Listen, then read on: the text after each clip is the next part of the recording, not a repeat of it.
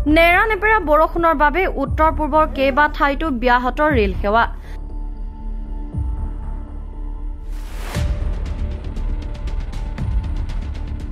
লামডিঙৰ পৰা বদৰপুৰ অঞ্চলৰ বিভিন্ন স্থানত ভয়ংকৰ ভূমিস্খলন।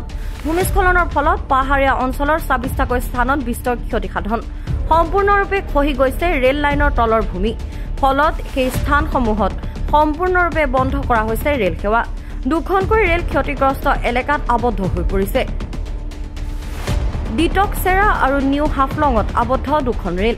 আবদ্ধ ৰেলকেইখন ক্ৰমে গুৱাহাটী শিলচৰ পেছেঞ্জাৰ আৰু Silchar Guwahati passenger N F ৰেলৱেৰ উদ্যোগত ইতিমধ্যে আৰম্ভ কৰা হৈছে আবদ্ধ যাত্ৰীৰ উদ্ধাৰ অভিযান।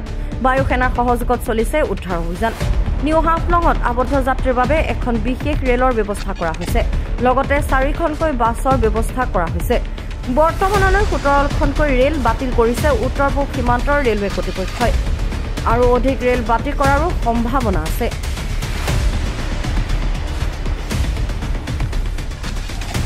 News desk report news next